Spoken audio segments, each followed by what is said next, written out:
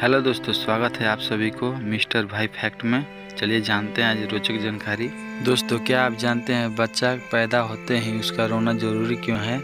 अगर नहीं तो चलिए आपको मैं बताता हूँ। दोस्तों, ऐसे ही रोचक जानकारी के लिए इस चैनल को सब्सक्राइब कर ले और बेल आइकन को दबा ले ताकि नोटिफिकेशन आपको मिलता रहेगा। जब बच्चा पैदा होता है तो उसके रोने को लेकर आपने तरह तरह की बातें सुनी होगी।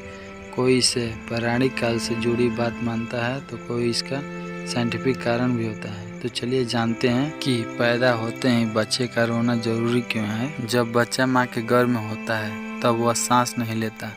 वह एम्ब्रियोटिक सेक नाम की एक थैली होता है, जिसमें एम्ब्रियोटिक द्रव भरा होता है।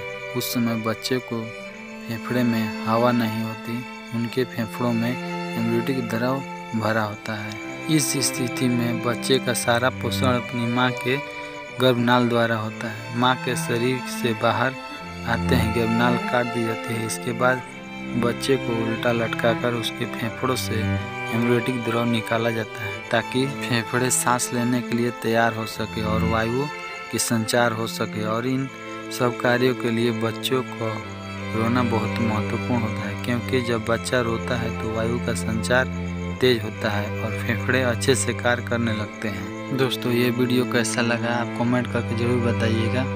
मिलते हैं अगला वीडियो में एक और नई जानकारी के साथ। तब तक के लिए थैंक यू